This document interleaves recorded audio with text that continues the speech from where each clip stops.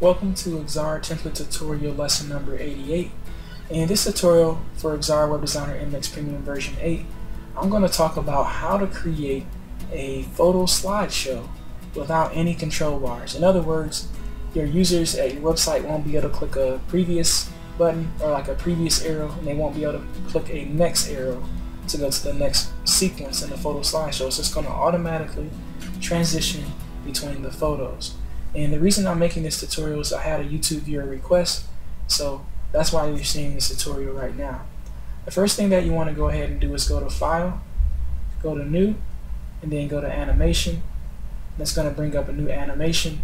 And if you can't see the animation frame gallery, go to the right hand side of your screen and make that pop out. Go ahead and lock that panel. And if you can't see that animation frame gallery option on the right hand side of your screen, go to Utilities and then go to Galleries and make sure that there's a checkbox by frame gallery. If it's not, you're going to want to go ahead and left click on that. So the next thing that you want to do is you want to go ahead and uh, grab some photos. So let's go ahead and go to the Designs Gallery and lock that panel. And then we're going to, the folders that you want to click on are Page Elements, then click on Photos, and then click on Landscape Photos. And when you're in the Landscape Photo folder, go ahead and drag that first image into your workspace and then we're going to go ahead and resize that. And once you resize that go ahead and hit control C and we're going to make a copy of that image. And the reason we co we're copying that is because we want to keep the same dimensions and the same size. So that way when we transition through our, our frame shots or our snapshots of our animation we don't have any see-through as it's transitioning between the different images and hopefully you understand what I'm saying when I say that. But let's go ahead and move forward. After you make a copy of that image, let's go ahead and give it a name. And if you watch my tutorials on animation, you know that in order to give your your objects in your animation uh, any kind of animations, it has to have a name. In other words, in order for an object to be animated, you have to apply a name, which we're going to do right now. So let's go ahead and give this image a name. I'm going to go ahead and call it Apple gray. You can name it whatever you want. I named it that because I can see that it has a grayish apple in the image. And go ahead and hit add, close the dialog out, and then go to your toolbar to the transparency tool. And let's go ahead and give this image a 99% transparency. And alternatively, you could just click in the box or double left click in the box and hit 99, hit enter, and that'll give it a 99% transparency.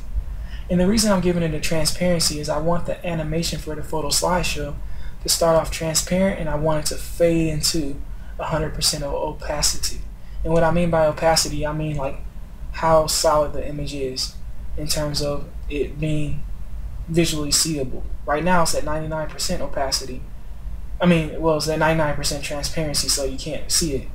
But if we copy this frame and we make it 100% opaque, that means you'll see the 100% original image.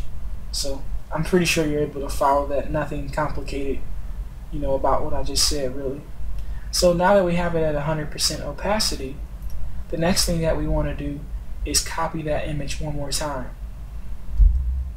And this time we're going to again set it to 100%, well not 100%, 99% transparency. You can double left click in there and type in 99%.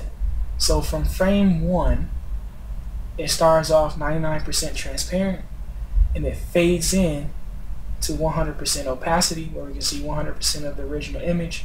And then in frame 3 it fades out to 99% again and this time in frame 3 we're going to actually hit control shift V and paste that image that we copy in frame 1 and when you do that go ahead and go back to your toolbar and select the selection tool. And this time we're going to grab a new image from our designs gallery. So let's go ahead and grab whatever image you want and drag it over top this image and it's going to replace that image. And just like before, we're going to go to the transparency tool and we're going to set this to 99% transparency.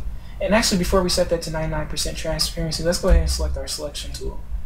And with this image selected, let's go to the name tag icon because we have to apply a name because remember we copy the image before we apply the name and that's and we want to do that that way that it'll have a blank name it won't have any names applied to it And so when we open this names dialog, I'm going to go ahead and give this the name brick wall.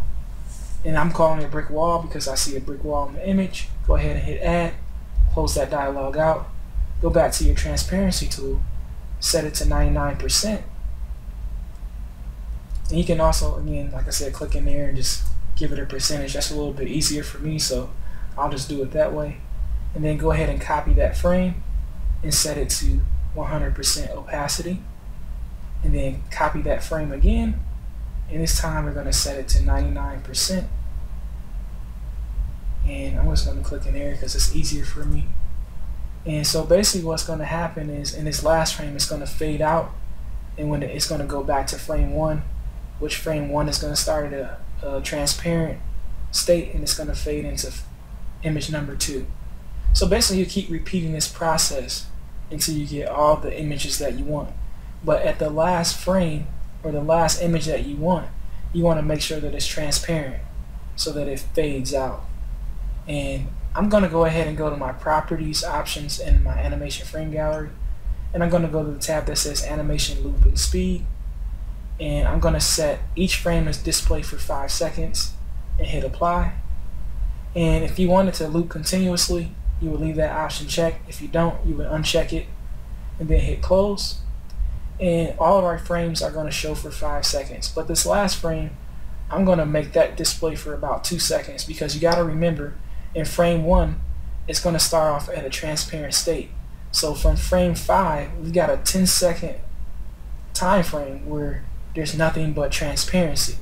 And your users will probably wonder where your photo slideshow went. Why is it not appearing anymore? And actually, let's go ahead and double left click on that frame 5. And I'm actually going to set it to display for about one second because I really don't want a big gap there. So that's going to be like a six second gap um, of transparency. But you'll see the photo. It won't be completely transparent.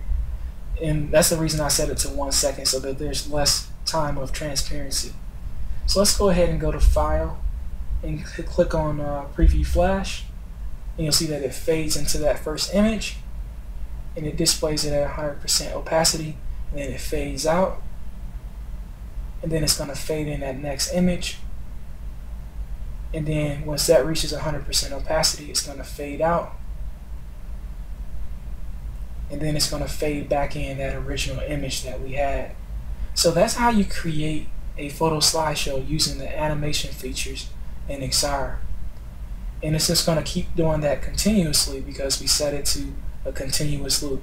So hopefully this, this video tutorial was helpful. If it was, leave a thumbs up, subscribe, embed, or share our video.